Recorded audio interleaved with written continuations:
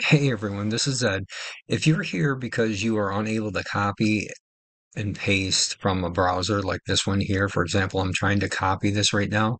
Um, this video is for you. So I'm going to show you real quick how to fix that. It's You just have to disable the Java.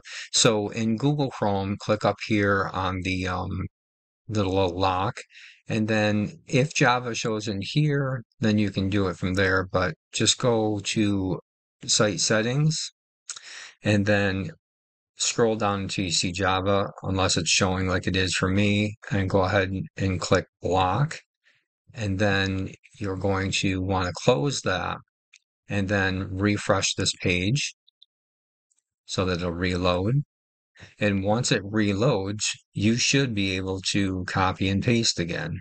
You'll notice you'll be able to go ahead and copy and paste. So if you want to do this in Edge, it's a little bit different. So open up Edge. I'll show you that I cannot copy and paste.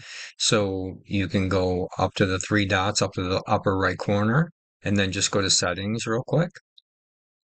And then go to cookies and site permission on the left hand side here. And then just scroll down until you see Java.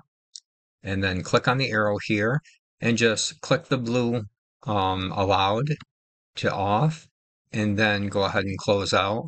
And again, click on this little refresh up to the top up here, or just reload the page, and you'll find that you now can copy and paste. And that's it.